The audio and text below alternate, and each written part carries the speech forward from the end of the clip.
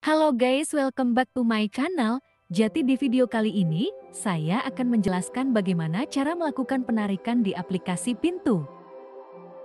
Sebelum kita melakukan penarikan disarankan untuk mengaitkan terlebih dahulu rekening bank kalian masing-masing ya guys. Di sini saya akan menjual terlebih dahulu koin kripto saya ya guys, dikarenakan saldo rupiah aktif saya masih kosong.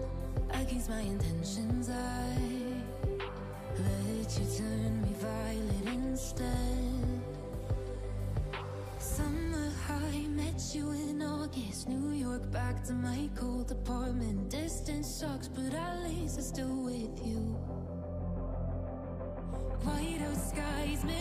Oke, sekarang saldo rupiah saya sudah menjadi 96.000 dan sudah cukup untuk melakukan penarikan. Langsung saja klik tarik dan lihat keuntungan penarikan di aplikasi Pintu. Prosesnya instan kecuali BNE dan BRI.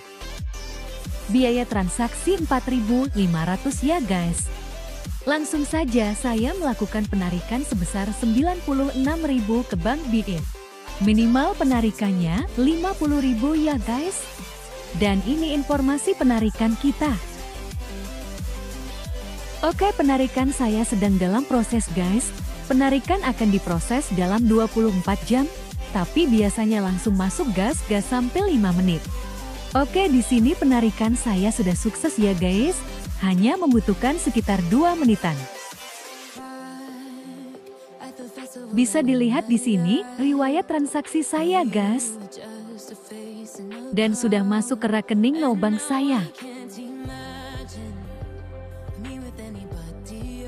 Masuknya 91.500 dikarenakan kena biaya sebesar 4.500. Gimana gampang bukan cara penarikan di aplikasi Pintu?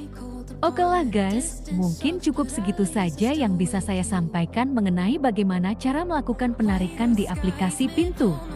Terima kasih sudah menonton sampai akhir, sampai jumpa di video selanjutnya ya guys.